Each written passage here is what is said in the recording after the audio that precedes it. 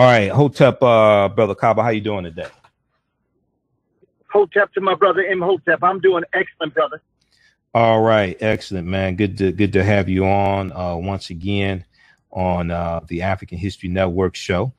And I know you are uh, out and about, but I talked to you yesterday, and uh, you know I was telling you I was at the uh, sixth annual Liberated Minds Black Homeschool and Education Expo in Atlanta, and you were telling me about uh, an online. You telling me about a, a class that you teach you're teaching it in the uh, Newark, New Jersey area, and it's a six week course on um, a history of West Africa, ancient to 1492, a history of West Africa, ancient to 1492.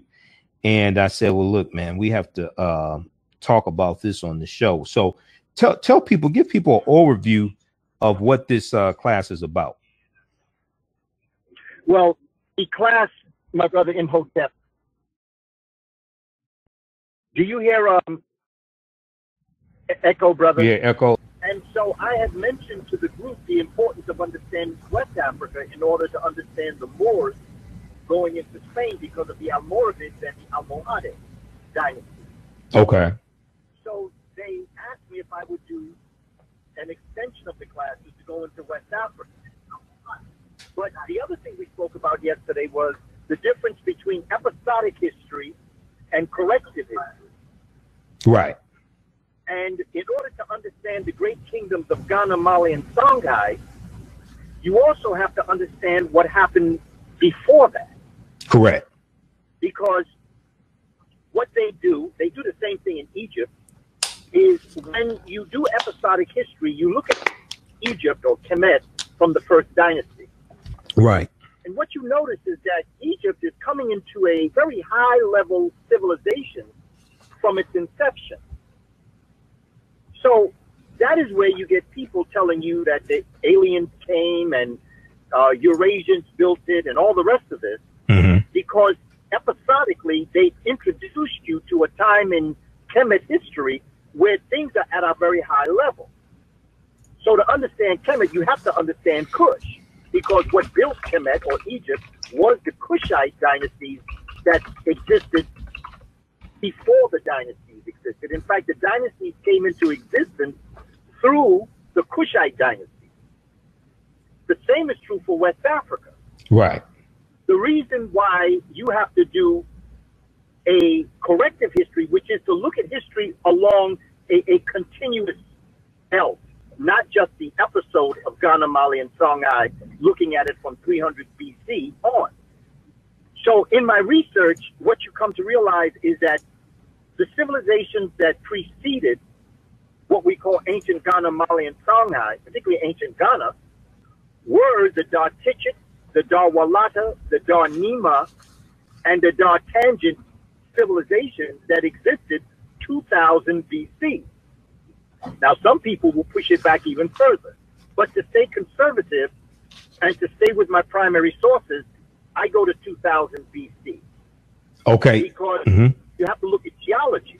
Right. Because now in geology, you have to understand that what is happening is that in North Africa around 6000 BC, there are climatic changes, which are going to turn grassland and very fertile land into dunes and deserts. So you have to understand climate to understand why Africans in the grassland are going to move north and they're going to move south. The Africans that move south are going to move into what we call southern Mauritania today. Okay. That civilization in in southern Mauritania, Africans are going to build the civilization that are later going to be cre- later going to create what we call ancient Ghana, that is going to become Mali, and are going to become Soninke. And the people that are going to build ancient Ghana are the Soninke. So there's a relationship in West Africa. Okay. So that even at that, the fourth week, we're then going to look at religion, particularly the ones that came to the United States, we're going to look at the Yoruba Orishas, and we're going Right. to study the spirituality of West Africans, and we're going to study the education of West Africans, and then we're going to dedicate one class to the Dogon culture of West Africa. Okay. Dedicate one class to the Dogon culture of West a month we're Africa. Yeah, once a month. Okay, on Saturday. So the classes, the next class is August 19th, August 19th, 2017. Uh, then after that, September 16th, October 21st, November 18th, December 16th. And this is at um, African Spectrum Dance Studio, 30 Central Avenue, Newark, New Jersey. African Spectrum D- Dance Studio, 30 Central Avenue, Newark, New Jersey. Okay.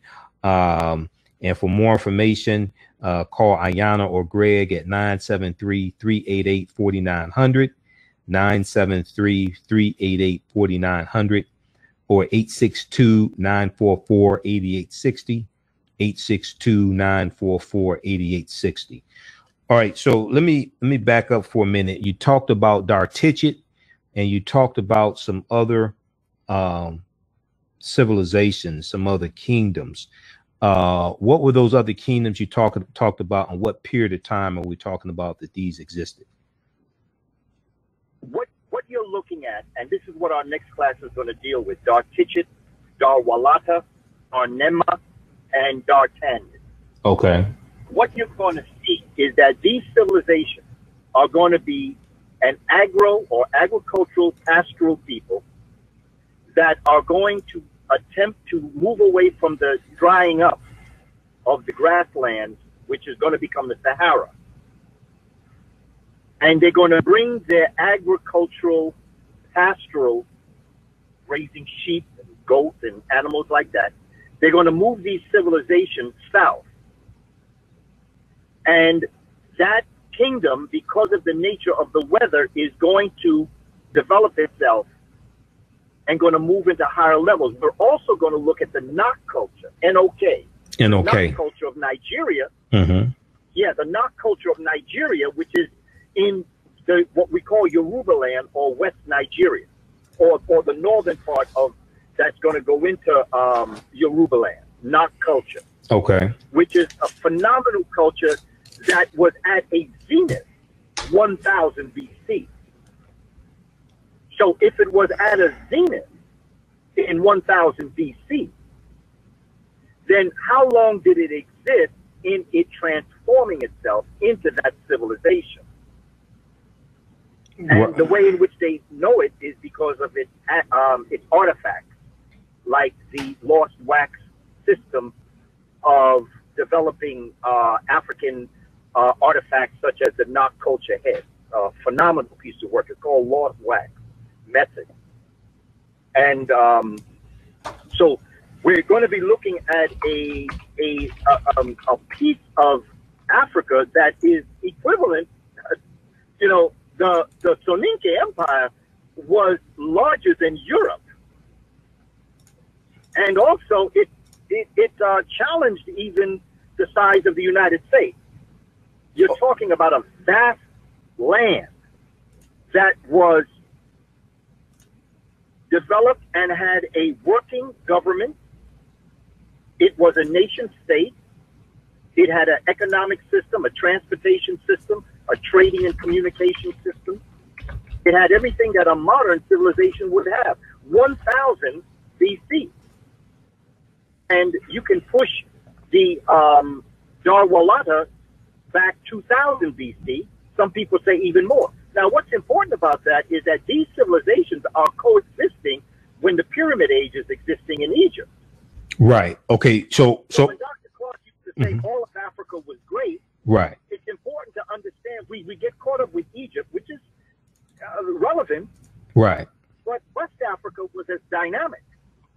Right, exactly. Okay, so I, I, I want you to do this. These different cultures, because we have people listening on YouTube, blog, blog talk, and Facebook Live. Okay, so Dartichet, that's D A R T I C H I T. How how do you spell Dartichet? It's, it's two words: D A R Okay. Dar, and then it's T I C H E T T. Okay. T I C H E T T. Okay. So Dartichit, uh, that was in the area of modern day Nigeria. Is that correct? No. So Wh- Dartichit is Mhm. going to be in southern Mauritania. Oh, I'm sorry. Okay. in Nigeria. Okay. Nok is not Nok is in Nigeria. Uh, Dartichit is in southern uh, Mauritania. Okay. Yes, and that's where the ancient Ghana kingdom came from. Okay. So what period of time is Dartichit? Does Dartichit exist? Know that it is in effect 2000 BC. Okay. So going back to at least 2000 BC, we see Dartichit existing. Yes, I've seen research that pushes it to 4000 BC. Okay. All right. Well, because we I want to be careful with what I say. right exactly. People will call you out, and I want to be accurate. But even if it was 2000 BC, you are dealing with civilizations that are existing before the Roman Empire. Absolutely. Absolutely. Okay. So it's important that we understand. And it's not that I'm comparing it to Europe. What I'm Right. trying to give folk an understanding of is that African history, north, east, central, south, go back a long way. The further back you go, the blacker you go. Absolutely. Absolutely. Okay. So we have Dartichit, which was in southern Mauritania. That dates back to at least 2000 BC. Okay. And what I'm doing is I'm I'm I'm posting this on the thread of our Facebook Live broadcast so people can um, see how this is spelled and things like this also. So what was the next what was the next civilization you talked about? Well, concurrently, you have Darwalata, Okay, how do you spell that? same D A R. Now, I've also seen Dar spelled D H A R. Okay. D A R. You have Darwalata, D A R, then it's W A L A T A. Okay, W A L A T A. W A L A T A. And where was Darwalata? Where was that located? It, it was in the same general location as Dartichit in southern Mauritania. Okay, in southern Mauritania also. And how far back does this date? Darwalata. Same, same exact date. Okay, 2000 BC And again, at least. Uh huh. and you know, when we start doing the proper research from our own perspective, the dates will go back and forth. And again, they were also an agro pastoral people. Right. Right. Okay, that's fine. okay? Yeah. They, they, have Darnema. Okay. D A R N E M A. Okay, but but ho- ho- hold on before we leave Dar, Dar Darwalata, I had a question for you about Darwalata. So when you say so Darwalata is existing basically at the same time as Dar Dartichit in what today we call southern Mauritania, is that correct? That is correct. Okay, now were to the research that we're doing. okay, now were these cities or were these kingdoms or were these countries? What exactly were these? These were settlements Mm-hmm. that were developing themselves around escaping the oncoming desert. Okay. They were Africans that lived in the area that was grassland, that had hippopotami, that had animals, that had crocodiles. And what's going to happen during what we call in the geological era that we call the Holocene period, H O L O C E N E, in the Holocene period, in this area of Africa, coming up out of the Ice Age, because while it was an Ice Age in in the northern polar cap, Mm-hmm. it was heavy rain seasons in North Africa. Okay. That's the climate that was in Africa, very heavy rain. You, you and then you had humid seasons, and then you had dry seasons. Okay. There came a time when the dry seasons existed longer than the humid seasons, or the humid weather. So that is when dunes began to come about, which are sand, hills of sand, that are going to blow the sand from east to west in North Africa. And the way in which they know that is that they've looked at the they've looked at the bed of the Atlantic Ocean and have seen and been able to identify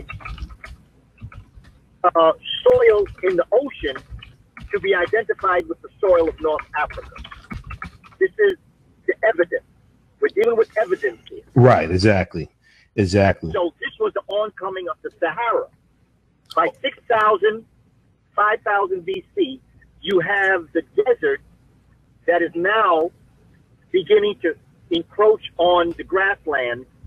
Africans are going to move north away from Sahara Mhm. desert, and you have Africans that are going to move south on the grassland.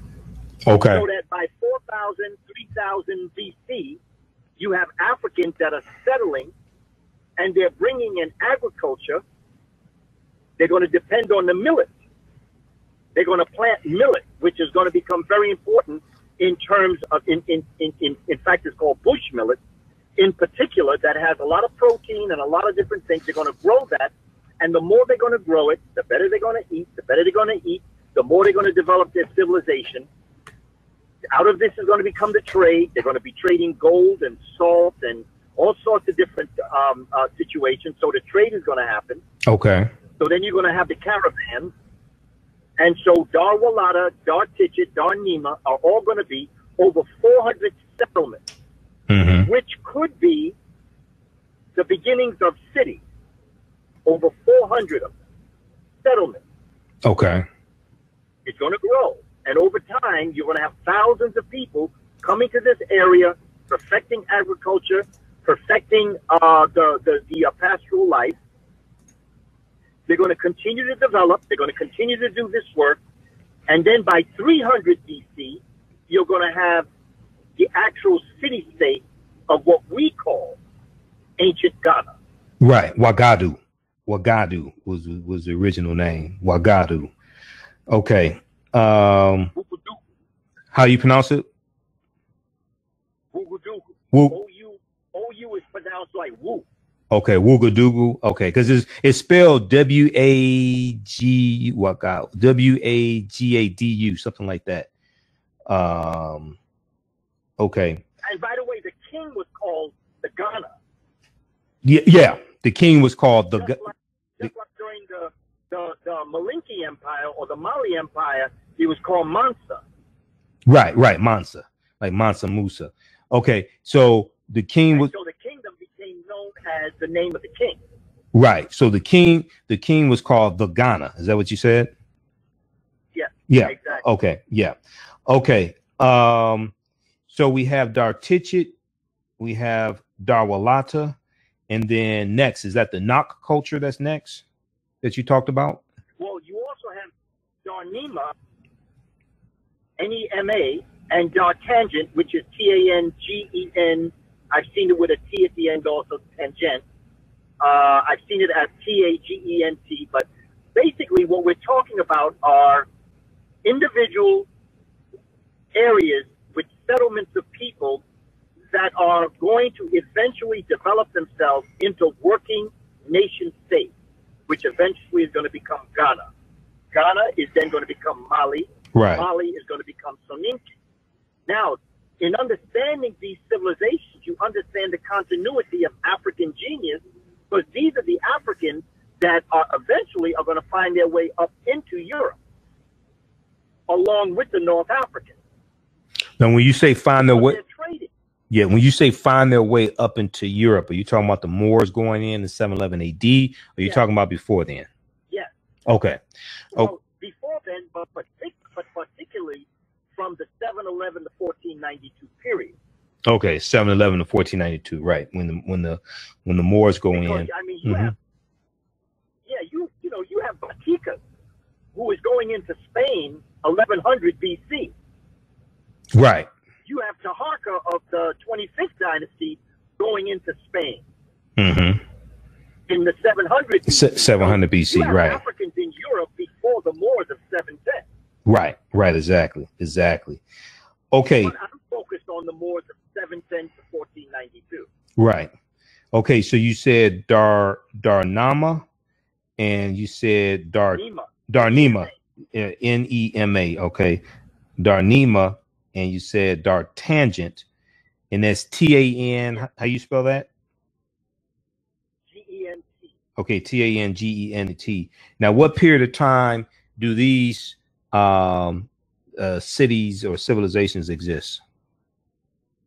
At the same time, you'll, you'll All right, 2000 BC. Uh, basically, I'm giving the I'm giving the date 2000 BC.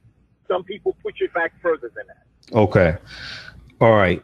So 2000 BC. Now the Nok the Nok culture uh was this in the same area like in southern Mauritania? No, not No, no. Benin and Nigeria. Benin and Nigeria, the Nok culture. Okay. What period of time is this for the Nok culture? we see the Nok culture developing high, high civilized artifacts 1000 BC. Okay. 1000 BC in the area of Benin and Nigeria. Exact. And, and for all the reasons with doc, the work of Dr. Cheikh Anta Diop hmm in his work, you can connect it with religion. You can connect this with, uh, you can connect Africa, the cultural unity of Africa, through Dr. Diop's work, Civilization or Barbarism, Myth and Reality, his book, The Cultural Unity of Black Africa, The Black Federated State. You can connect these through language. Right. You can connect it through religion. You can connect it through trade. You can connect it, and I'm talking about evidence. Okay. Absolutely. And that's and you know, I'm not talking about facts. I don't deal with facts Mm-hmm. because facts can change as we see. right. Well, right. It's going to work. Right. Well, why why wouldn't we deal with facts and evidence, and facts as they relate? because because facts can change. Like for instance, it's a Right. fact that yesterday it rained in New York. Right. Well, no, no, that's true. It Mhm. didn't rain today. Right. Right. No. Well, it was a fact at that time. It was true at that time. Right. Right. So. Exactly. So mhm. when you deal with evidence, it transcends all time and space. Right. Right. It's um, it's like archaeological evidence. It's um, so, it's solid. Right. So hmm this and you, you, you know the brother that dropped this information on me. Dr. David Imhotep. David Imhotep. Yeah, I know because he dropped it on me also. I've interviewed him a number of You know what I'm times. Yep, he dropped it on me also. Yep, exactly, exactly. Said, evidence. Evidence never changes. Mm-hmm. Absolutely. So, so that's where I got that idea from. I'm growing with that brother. That brother and I have been in contact, talking, and I mean, he's been dropping some pearls on me. Yes. And as I've begun to realize, this is what we have to go into our classroom, and this is what we have to start discussing because we have primary sources. Right. Right. They can't touch this. Right. Exactly. Exactly. Hey, if you're just tuning, okay, stand by just a minute, brother Kaba. All right, if you're just tuning in, you listen to the African History Network show. Uh, we're broadcasting uh, on Blog Talk Radio on our Blog Talk Radio channel, the African History Network show. We're also broadcasting on uh, our Facebook fan page, the African History Network, the African History Network on Facebook, and uh, on our YouTube channel as well. Okay, so uh, you can listen on uh, one of those platforms. And uh, you can also call in and listen by phone 914 338 1375. 914 338 1375 uh, is the call in number if you have a question or comment, uh, or you can just listen there. Uh, 914 338 1375. If you have a question or comment, press the number one key to put you in queue so we could bring you on the air. All right. Press the number one key uh, uh, to put you in queue so we could bring you on the air. And when you call in, now we're short on time because I have another guest coming on at the top of the hour. So we're not going to have time for dissertations and manifestos. Okay. We need you to go ahead and answer your ask your question so we can get an answer from Professor Kaba Kamene.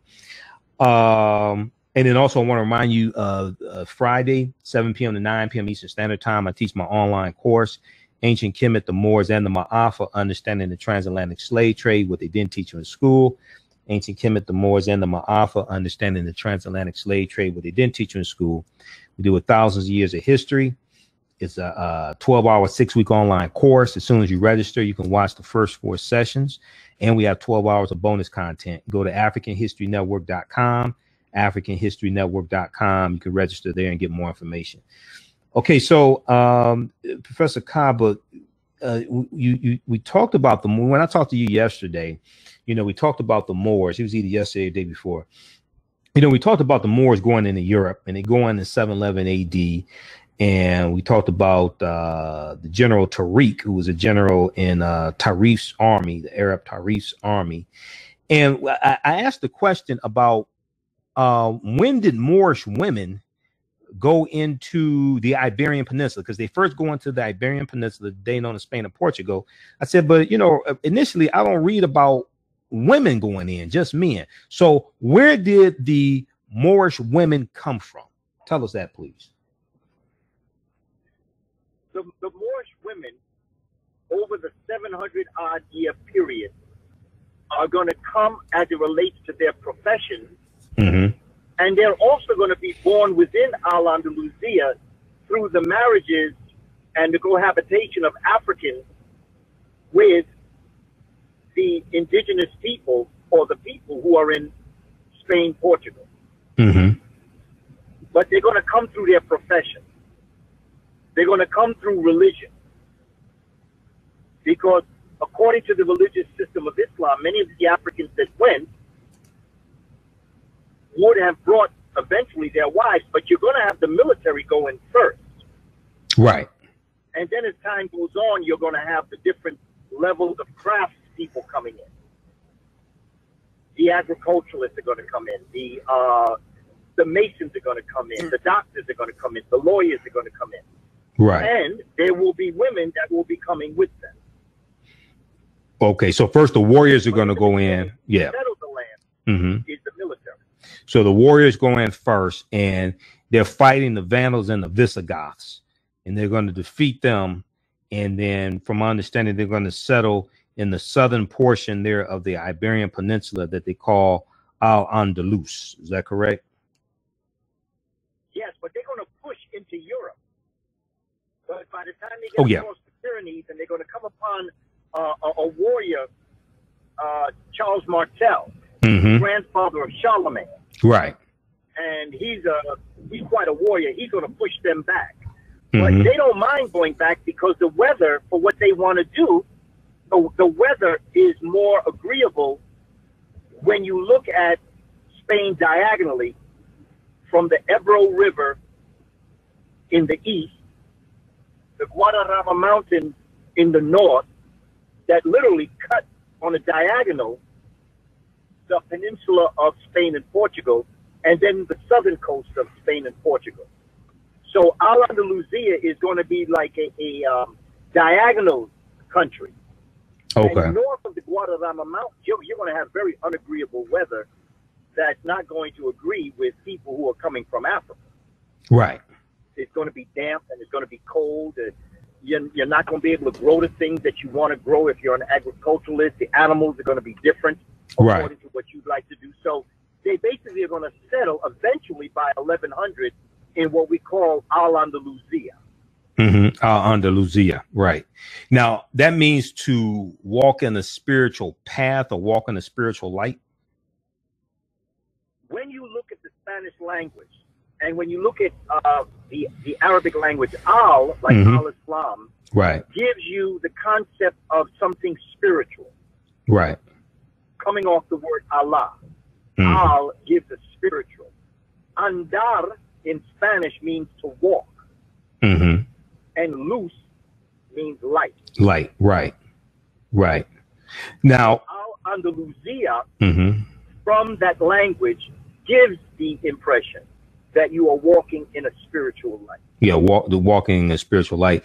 But al that al that prefix, uh, from my understanding, that also means of the, like alchemy, of chemi, because because we see the al prefix in algebra, alcohol, alchemy, al andalus. That that that prefix, that Arabic prefix, doesn't that mean of the also?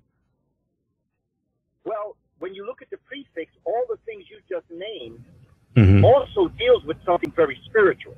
Mm-hmm. Alchemy, Right. algebra. Right. So it, it, it all has the manifestation of a concept of spiritual. Now, Al is also going to become El. And that's why you have a lot of Moors whose names are, are Bay, Mhm. really is Ba, but, and El. Okay. L. Either El or you're a Bay. Right. E L L. Again, L is a derivative, and L also is part of the Romance languages when you're dealing with L or, or Aya, which is male and female. In French, you have ill, but it all comes out of this uh, relationship. Okay. So um also you have al when you deal with al kibalan because from my understanding and talking to Runoko Rashidi, al kibalan is an Arabic word as well. So you have that prefix once again, al, A L. Um Yes. okay. So and you talked about um Bay B E Y and Ba B A. Now that Ba does that relate? Is that Ba as in the soul coming from ancient Kemet and the Medu Neter, where you have the Ba and the Ka, the soul and the spirit? It's possible. I cannot verify that, but I always try to put a, a combination together. Okay. Okay, um, absolutely. in, in, in order. So whenever I see things that are like when you deal with the word Ra, you know, I always try to put the connection because there are connections. Right. Right. I definitely understand that. Definitely understand that. Okay. Uh once again, if you have a question for Brother Kaba, give us a call 914-338-1375. 914-338-1375 is the call-in number. Uh if you have a question or comment, press the number one key 914-338-1375. All right, stand by, everybody. Hey, I want to let you know um, visit our website, AfricanHistoryNetwork.com, AfricanHistoryNetwork.com. We have a lot of informa- information there for you. Those watching on Facebook, share this broadcast on your Facebook page. Invite your friends to tune in. We have the Black Friday documentaries at our website. You can order them now. Uh, we have the Black Friday documentaries, Black Friday, What Legacy Will You Leave? This deals with strategies to recycle our $1.3 trillion economy and leave intergenerational wealth for our families. You have Dr. Claude Anderson in here. You have Dr. Chike Akua, Dr. Umar Johnson, Dr. George Fraser, uh, hip hop artist David Banner, Hill Harper, myself, Michael Imhotep. You have Dave Anderson, founder of the Empowerment Radio Network, Tony Browder in here as well. You got a lot of people in, the, in this documentary. We have that at our website, AfricanHistoryNetwork.com, AfricanHistoryNetwork.com. Also, we have Elementary Genocide 1 and 2. Elementary Genocide 1 and 2 from director Raheem Shabazz. We have a bundle pack for these DVDs also. You get a big discount. This These documentaries deal with the school to prison pipeline, fighting against the school to prison pipeline. They deal with education for our children also. And you have uh, Dr. Umar Johnson, Dr. Boyce Watkins, hip hop artist uh, Killer Mike. Uh, you have Dr. Steve Perry, uh, just to name a few uh, of the people in these documentaries. I am in uh, Elementary, Elementary Genocide Part 3, which comes out August 22nd from director Raheem Shabazz. So look out for that. Professor Kaba Kamene is in there, Professor James Small, uh, two of my teachers. You have Shahrazad Ali. So look out for that as well. Okay. Uh, remember, on Fridays, I teach an online course, Ancient Kemet, the Moors, and the Ma'afa, Understanding the Transatlantic Slave Trade, what they didn't teach you in school. Ancient Kemet, the Moors, and the Ma'afa, understanding the transatlantic slave trade, what they didn't teach you in school. Okay. This is a 12 hour, six week online course. Uh, as soon as you register, you can uh, watch the first four sessions. All the sessions are recorded. Okay, all the sessions are recorded. You can go back and watch it over and over again. And we also have about 12 hours of bonus content. We deal with thousands of years of history.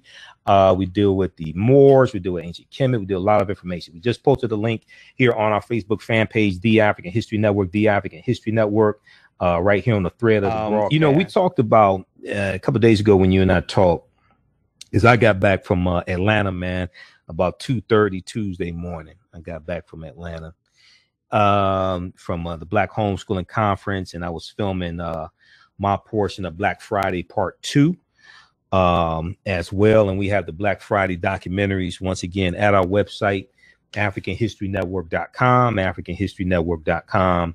Uh, Black Friday with Legacy Where You Leave. You can order those there, and you get one of my DVD lectures free. Brother Kaba's in the documentaries also.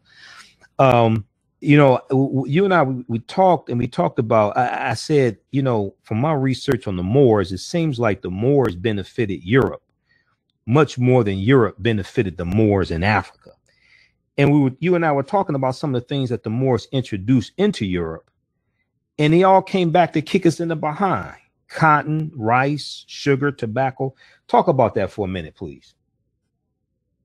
Well, you know, you're absolutely correct. In fact, I could even extend that to any time we've ever come in contact with your your Eurasian culture. Right. We've always given more to the culture than was given to us, including the African American experience. Right, right. I, I, agree with that. We're dealing with that right now in Detroit. But go ahead, go ahead. Absolutely. Right. Absolutely. Uh, you know, that is just the way things are.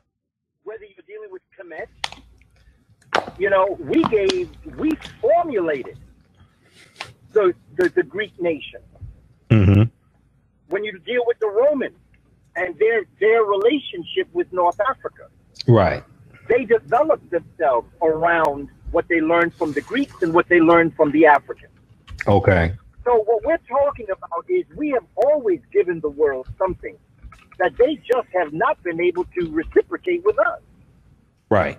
It's just the way it is, you know? Right. Well, what this is going to lead to is some of your biggest slave plantations once you, the Moors are going to be conquered, you have uh, you, you you have the Portuguese getting involved in the transatlantic slave trade right around 1440. They're going to dominate for the first 200 years, from, from 1440 to 1640. You look at the transatlantic slave trade existing from 1440 to 1888, when it's finally abolished in Brazil. But you look at the largest slave plantations, you're going to see cotton plantations, rice plantations, sugar plantations, and tobacco. And these were all things that the Moors introduced into Europe. Is that correct? That is absolutely correct. Now, I remember you talking about how, because when we studied Columbus in August 3rd, 1492, setting sail on the Nina, the Pinta, and the Santa Maria. And I remember you talking um, some years ago, and you talked about how uh, one of the things that Columbus was also looking for, in addition to spices and gold and silver, things like this, he was looking for another source of sugar. Okay. Talk about that for a minute and why was another source of sugar so important for Columbus to find? Well, sugar, um, um, in fact, you can even go back to Marco Polo mm-hmm. uh, um, and his impact and his relationship with Africans. You can look at uh, Africans going into Europe and then the the same routes that Africans came into and bringing uh, silk and things from Asia and products from Africa into Europe um, is going to be something that Europe never uh, experienced. Right. So what's going to happen is that they are going to um, get hooked on sugar. The Europeans, yeah, the Europeans get hooked on sugar, and sugar is a drug, also. Okay. And, mm-hmm. and uh, it was very expensive, and so they were looking uh, to be able to capitalize on the products that were brought into um, into um, Europe. And so when uh, there's a um, Martin Fraginales did a phenomenal piece on uh, the Cuban sugar plantation, where he talked about um, sugar and the impact that sugar had on uh, Europe. Okay. And the other types of herbs and spices and uh, things that were brought into Europe by Africans that Europeans had never experienced before. And again, you go back to climate. You know, you can't grow sugar in a climate like what is in Europe. Right. Exactly. Exactly. And so, you know, these different the fruits, the vegetables, strawberries, the oranges, the olives, all of this was brought into Europe by uh, Africans. Mm-hmm. Exactly. Exactly. And so eventually they're going to capitalize on it. And the sugar that was put into the early days of, of the liquors that were drunk, the beers and wines and the things like that. Because in Africa, you know, everybody said, well, Africans had beer and wine. They did, but they used the fermentation of the fruit. Right. What we have in alcohol today in beer and wine is the addition of alcohol, which is another form of fermentation, but it's not the best fermentation for the human body. Okay. So you have the fermentation of grapes. Right. Anything that turns brown, ferment. Mhm. Watermelon, apples. You know, you can ferment it and in drinking it after its fermentation process, and then you have the hops and the grains that become beer. And so you, you, you have this system existing Right. where Europeans are going to want to capitalize. And, and once they are able to defeat the Moors in 1492, Boabdil, once they defeat them, then they're able to return back. And one of the things that they knew was to come to America. Okay. Christopher Columbus himself, you know, was aware of West African voyages to the Americas. We find him on the coast of West Africa, the Cape Verde Islands. Because remember, he's the Portuguese at this time. He's not with the Spaniards. Well, in 14, Portuguese. yeah, like 1486, eh, eh, 82, because he's selling around the west coast of Africa, picking up uh, Africans as slaves, uh, 1482. Well, not just that, but Hmm. he's with Africans that are doing it. Okay. Right. Now explain that. You say he's with Africa in 1482. He's with the Portuguese. He's not with the Span- he's not with the Spanish crown yet. Okay. Uh, now, now he was born in Genoa, Italy. Okay, Columbus was born in Genoa. That's what they say. Well, that's what they say. Yeah, he was born in Genoa, Italy. At this point, he's with the Portuguese, and Spain and Portugal are right next to each other. Okay, um, and you said he's with Africans picking up slaves around the west coast of Africa. Explain that, and who were these Africans he was with? Well, not just Africans. Mm-hmm. He, I, I, he, he, he's not just picking up Africans. He's picking up trade. He's trading with West Africa. Okay. And in this trade, he's hearing.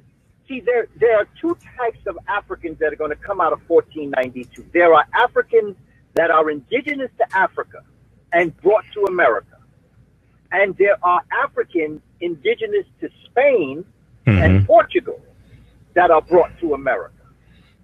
Okay. Now, when you say brought to America, you're talking about these are enslaved. They're going to be enslaved African people brought brought to America. that have been captured in, in Spain. Okay.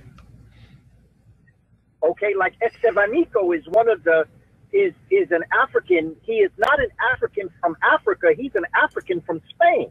Right. Okay. And uh I For rem- 700 years, these Africans have been in Spain. right. Right. You, you know, it's like looking at an African here from America and an African from the continent. Right. Okay. We have lineage that goes back to Africa. hmm So we basically, for generations, for centuries, have lived in America. Right. Exactly. Now, Exactly. the third type of African that's in America is the African that has been in here from the very beginning of the peopling of America. Okay. Okay. And that would be like the Khoisan. work of Dr. David Imhotep. Those, those would be the Khoisan and the descendants of the Khoisan, the Ainu, the Twa, etc. That's what you're referring to. the Paleo American. The Paleo American that he talks about, right? And that includes the that includes the Khoisan. That includes the Khoisan who have the oldest DNA on the planet. Okay. I I, I want That, and also the. Mbuti, the Mbuti people, the Twa people who derogatorily call people. Right, exactly. They come from Southern Africa uh as well. Okay. Um Because see, the other thing, brother Hotep, Mhm. that we have to understand is that some of us in America, many of us in America, have African blood. That that the origin of that African blood was here before the people we call indigenous people were here. now when you say okay, hold on. Go ahead. Go ahead, finish that thought. Go ahead.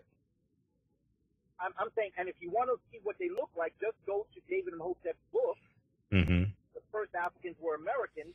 Look at the front cover, and you'll see what those Africans look like. Yeah, that was a brother from South America. He was from uh, Tierra del Fuego, if I remember correctly, which is Yes, the southernmost of tip, the land of fire. the most part of South America. Right, the southernmost part. Okay, now uh, I, I want you to back up for a minute because I want to I want to hone in on this. Two things. We're going to talk about Estevanico because we, we have a few minutes left before uh Jamon Jordan comes on. Uh, I want to talk about Estevanico, and then you, you you just talked about uh how we have uh some of us. Uh, you talked about indigenous uh the indigenous people. When you talked about the indigenous people, or, or you, I think you say we have uh, ancestry that goes back before the indigenous people, something like this, right? Were, were you talking about the people who we call Native Americans, or were you talking about the Africans who were here in this land we call the United States of America before Native Americans came into existence? Who specifically are you talking about? I'm talking about Native Americans. But we say we're the- Okay, hold on. You breaking migrate. you you okay? You breaking up. You're breaking up uh, a little bit. Go ahead and repeat that statement again. I'm talking about Native Americans. I'm talking about people like the Cherokee, the Arapaho, the Apache, Okay. um, you know, the, the Zuni. They came later. Right. They are not the original Americans. The original Americans date back. It's hard to say because when I talked to Dr. Imhotep today, he told me that they have found people 130,000 years old in America. Well, yeah, that that uh, I talked to him about that. I actually sent him some information on that.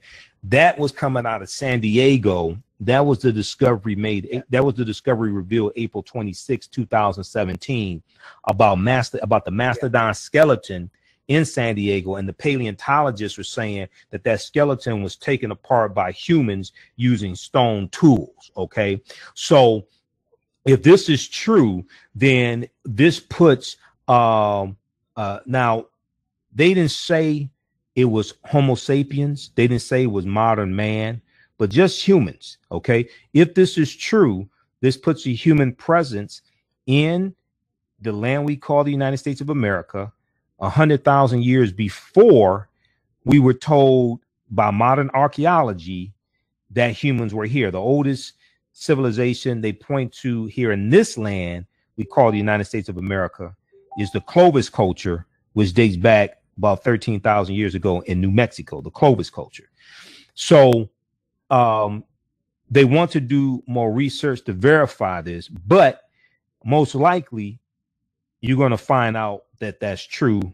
And we know that in Morocco in early June, they found skeletons of Homo sapiens, modern man, Homo sapiens, that date back between 300,000 to 350,000 years ago, which is over 100,000 years before the oldest human fossils they had of modern man, which were in Ethiopia that dated back 195,000 years ago. Okay, so this, this these these archaeological discoveries are coming out each month, man.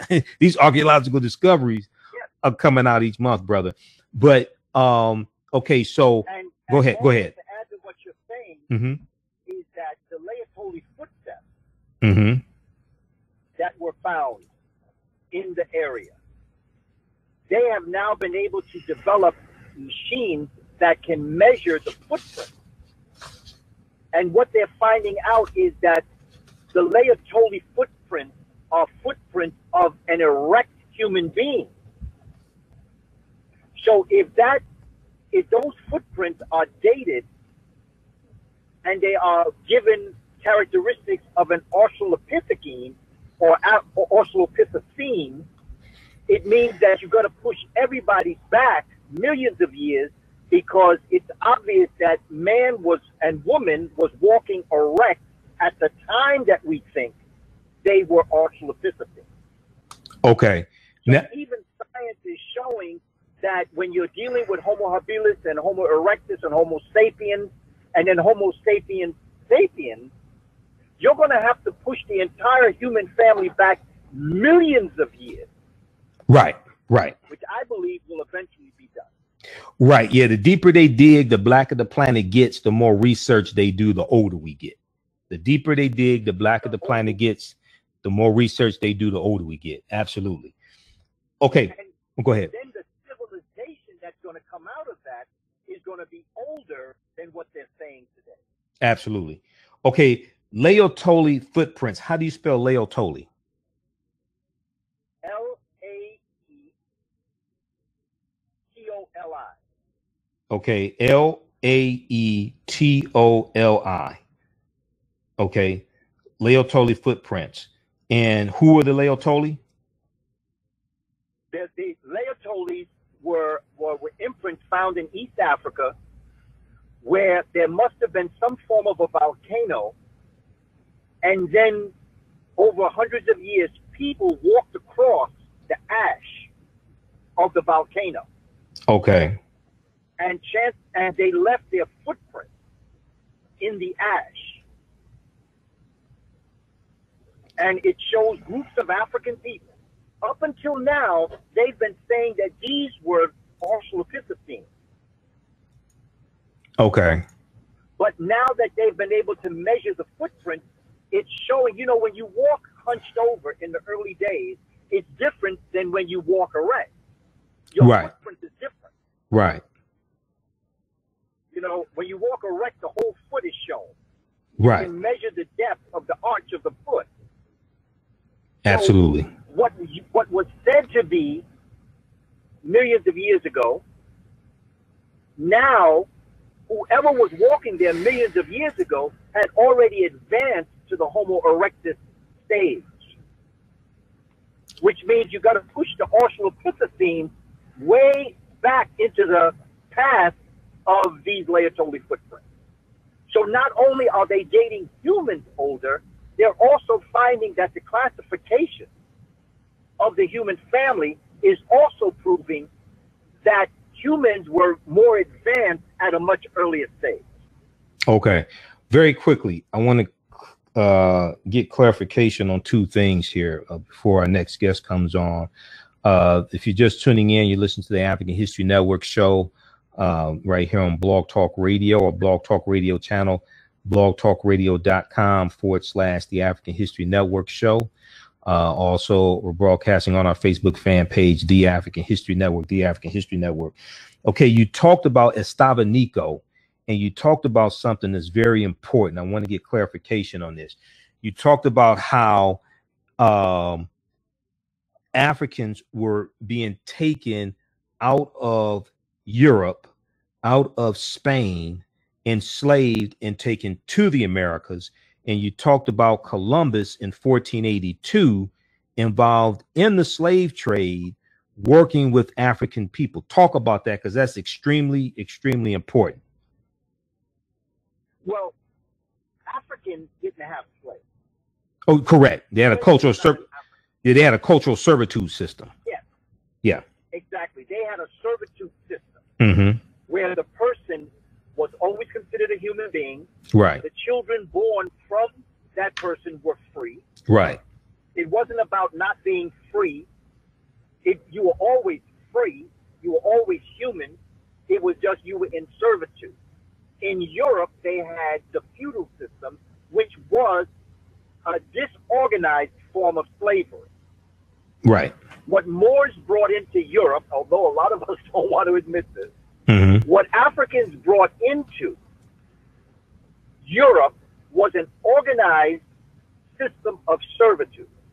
Mm-hmm. Europeans took that organized system of servitude, superimposed it over their disorganized serf system, mm-hmm. and that is what became institutional slavery. Right. It's a very interesting book by Kenneth Stampp. It's called That Peculiar Institution. Right. It's a book that needs to be read, along with Philip Higginbotham's book on a matter of color. It's important that we understand that Africans didn't have slaves. Correct. Africans had servants. Mm-hmm. Anyway.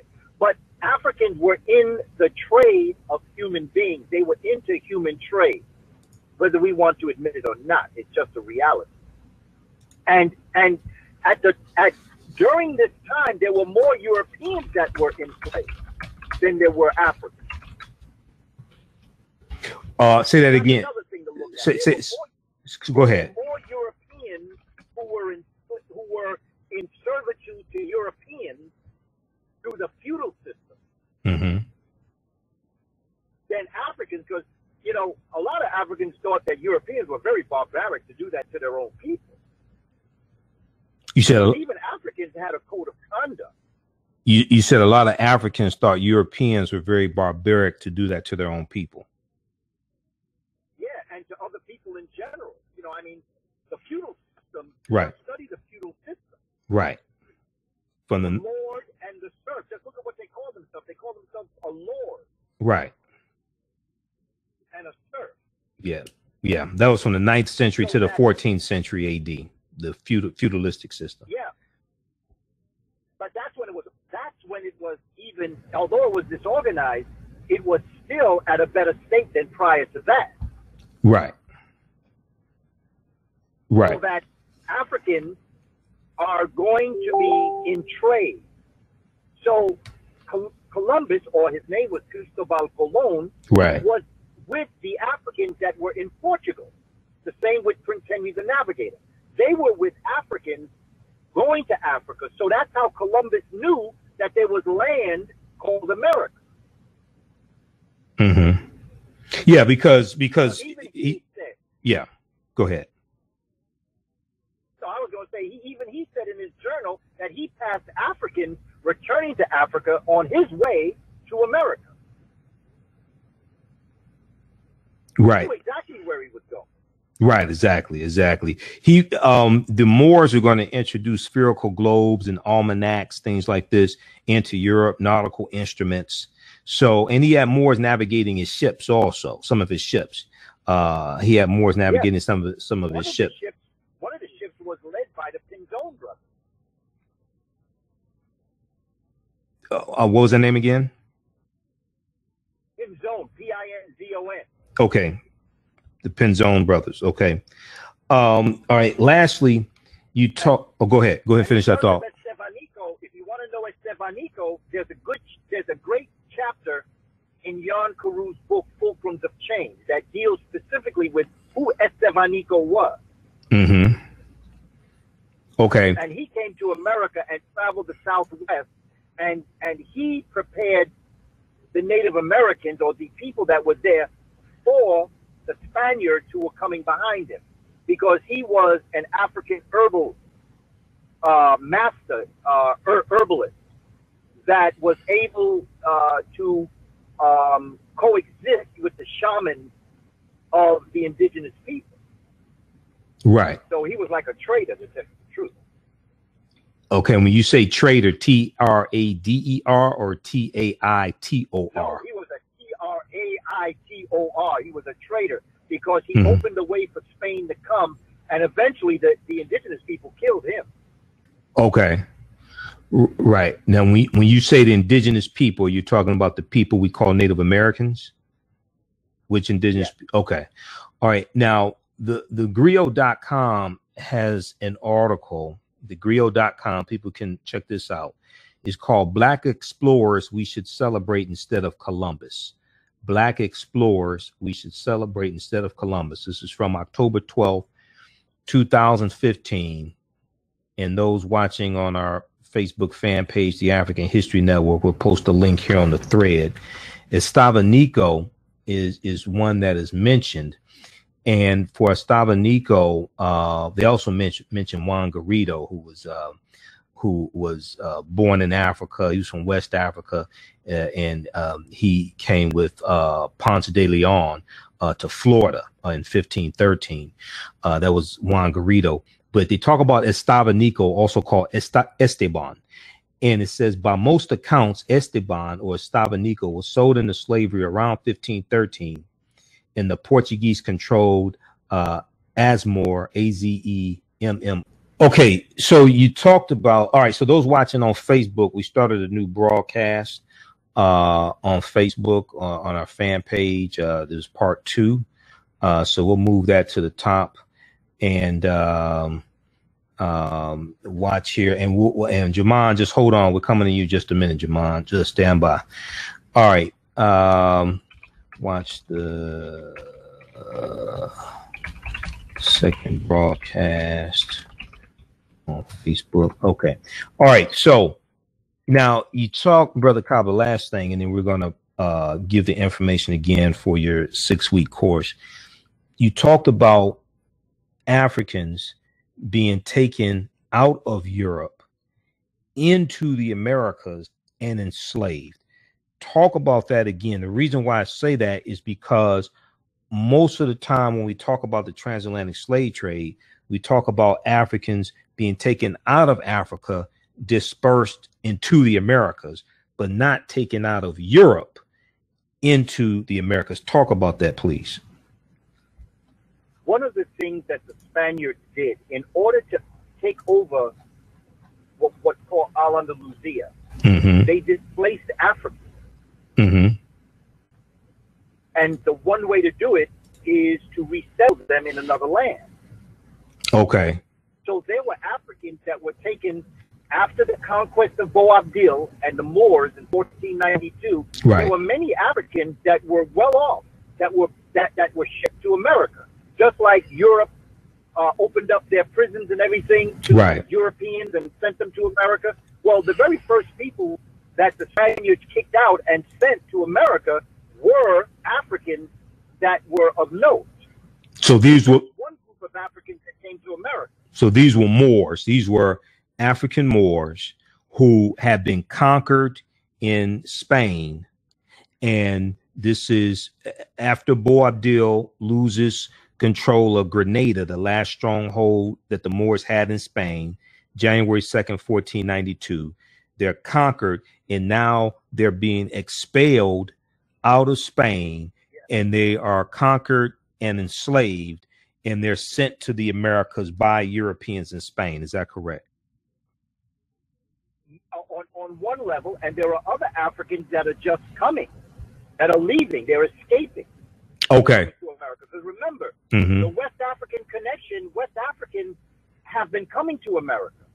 Egyptians have been coming to America. Right. Absolutely. Now, So when, mhm, when go ahead. so you have Mansa Musa's brother, Abu Bakari, who is said to have gotten on a ship and come to America. So you have Africans coming to America. Right. So there are Africans in America that came that were not enslaved, that were not part of the enslavement process from 1492 or 1505 on. Okay. So so we're gonna have we're gonna have some Moors who are conquered and enslaved and brought to the Americas because they're being kicked out of Spain. Then you're gonna have other Moors who are not enslaved, but they're fleeing for uh, uh, they're fleeing uh, what's going on in Spain, and they're coming here more, or they're coming to the Americas more voluntarily, and they're not enslaved. Is that correct? Yeah. Okay. They have the ways and means to do it. Okay. Now, And there are Africans that are returning to Africa. mm, yeah. Okay. They're going back uh, because Spain, Then you have be, because because Spain and Portugal is just right above uh, Morocco.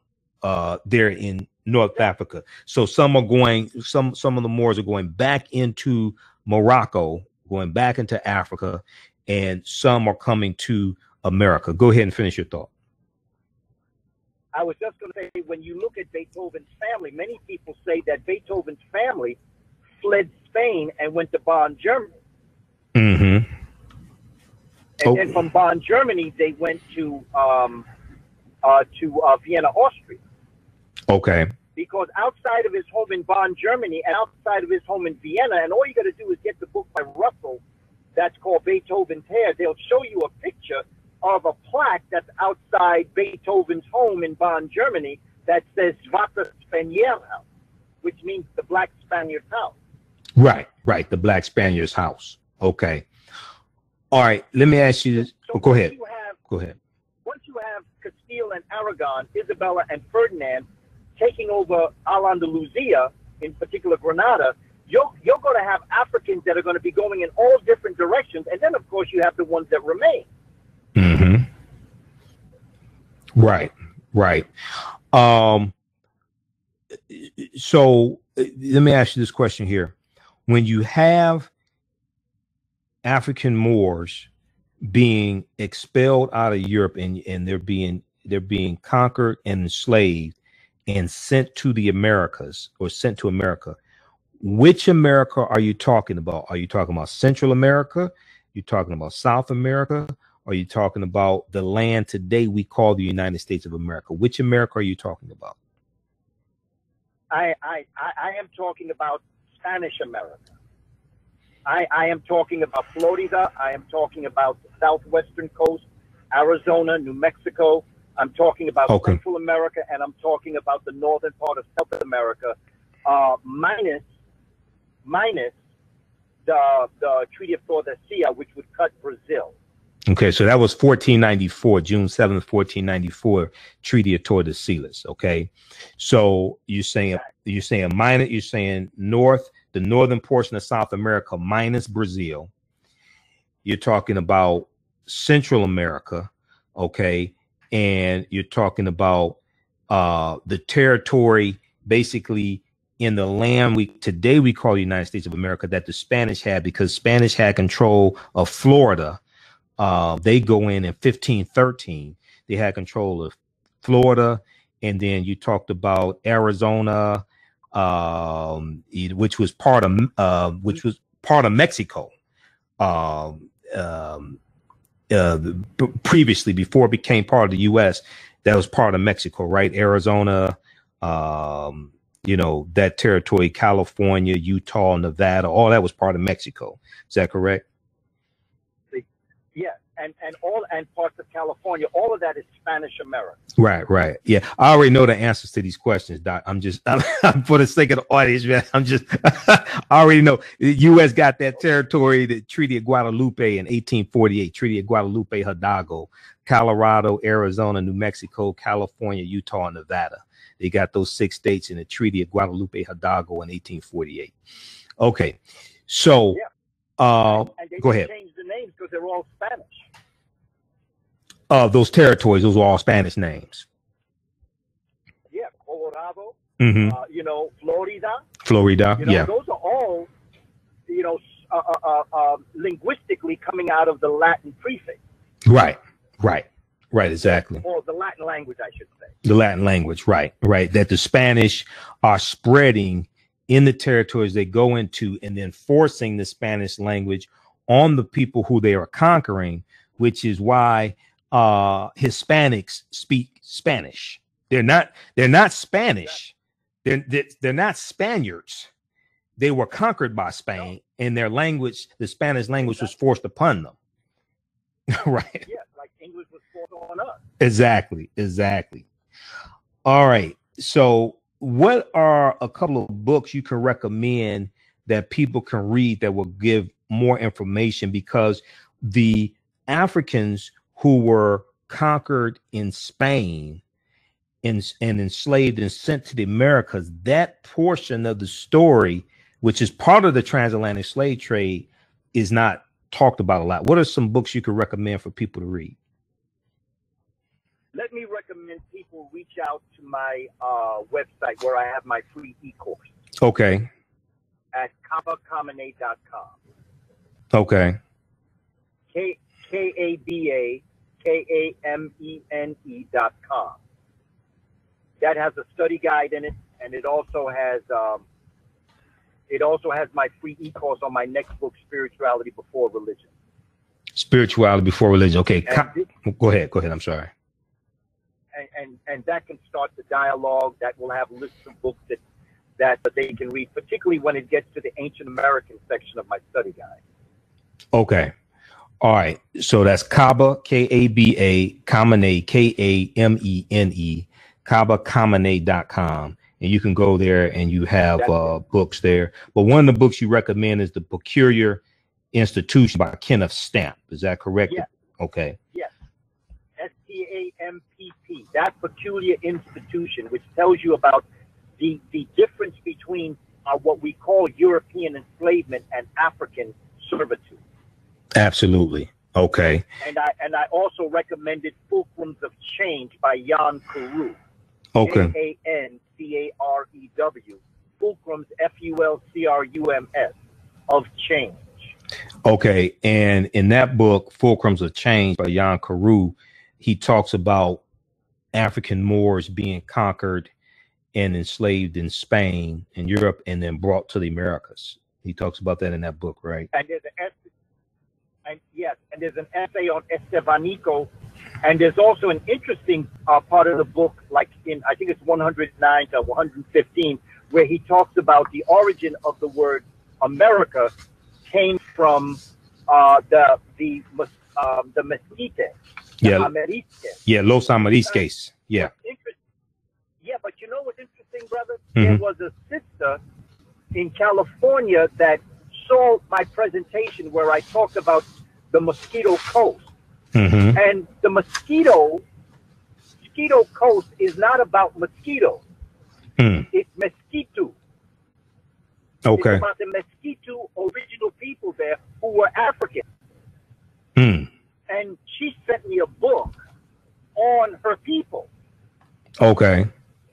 And it, it's very interesting uh, the story of her people in Nicaragua and the indigenous people known as Amerisques, where Alberigo Vespucci right. went to uh, Cristobal Colon, Christopher Columbus, came upon these people, and their name is a Mayan word that means gold, the breath of of the creator, and he renamed himself from Alberigo to Amerigo Vespucci.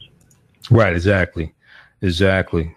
His born name wasn't Amerigo. This is another piece that um, that uh, Jan Carew's book, Fulcrums of Change, does. It goes through how America really is a Native American name.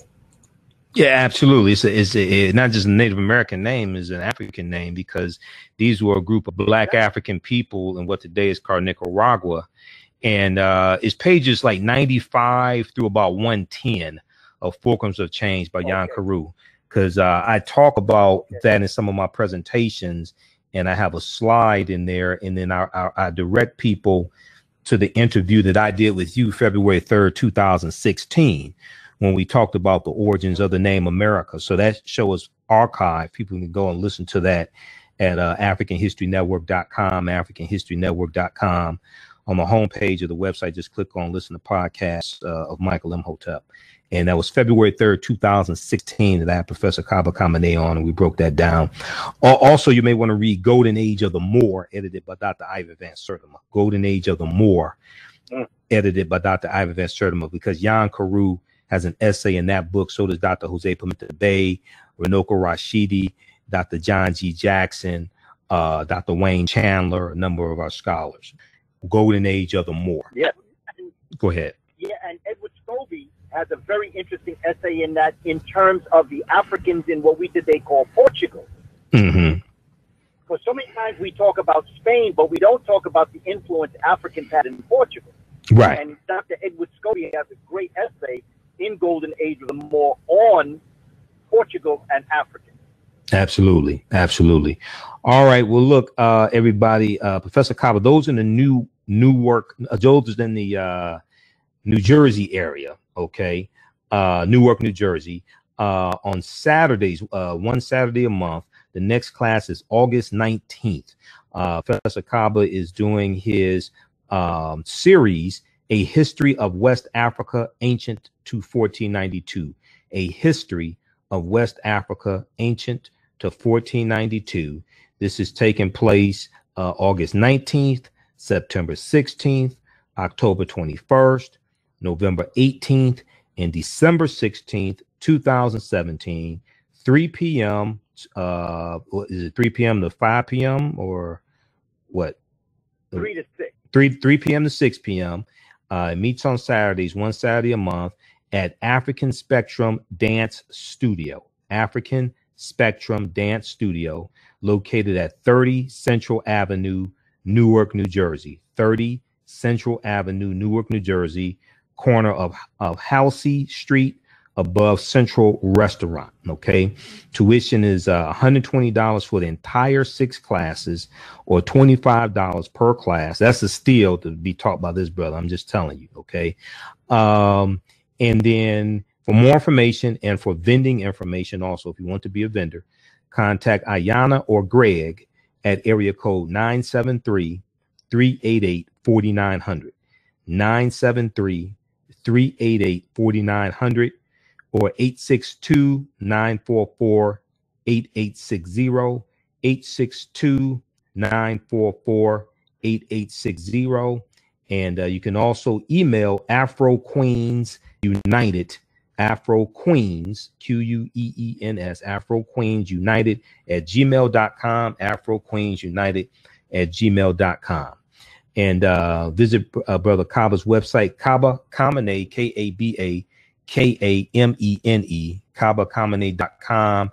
And you can order his DVD lectures there and get his uh, book list and a lot of information there. Um, go ahead, Brother Kaba, with any last words. And, and, go ahead. Yeah, brother, I just wanted to add that if you go to kabakamene.com, I've made available last Saturday's class, the first class on West Africa, is now available uh, for purchase when you go to kabakamene.com. Wow. Okay. It's also on my Facebook page. Okay. If you if you want to go to my Facebook page, uh, uh, uh, Kaba Kamene, or you can go to my education page, uh, Professor Kaba, or you can go to my other Facebook page, Panther Prince Per Ankh. P A N T H E R P R I N C E P E R A N K H. And you'll see the URL for uh, the particular um, DVD on West Africa, which is the origin of humanity in Africa and its movement to West Africa. Okay. Excellent. Excellent. Well, look, Professor Kaba, we have to have you um, back on again. And um, uh, people look out for Elementary, Elementary Genocide Part 3, which comes out August 22nd, 2017. Professor Kaba Kamene is in that documentary from director Raheem Shabazz. I'm in there also, as well as Professor James Small and Shahrazad Ali and some other people also. All right, brother. Well, look, man, it's always good talking to you, and we're going to have you back on uh, very soon as well. Probably, maybe next month. Probably next month we'll have you back on right before uh, the class, right before the August 19 class. We'll, we'll have you back on. All right. Okay, brother. Sounds good to me, brother thank you so much, Brother Imhotep, for this opportunity. And I thank the family for uh, tuning in and uh, just keep on keeping on because it ain't over till we win. Absolutely, man. Okay, Hotep to you and the family, okay? Hotep to you and yours, my brother. All right. Okay, man. Peace. Take care. Peace. All right. You too, brother, man. All right. Okay, so that was Professor Kaba Kamene. And uh, we got to have him back on again very soon, talking about his six week course uh, in the Newark, New Jersey area, a history of West Africa, ancient to Mo- ancient to 1492.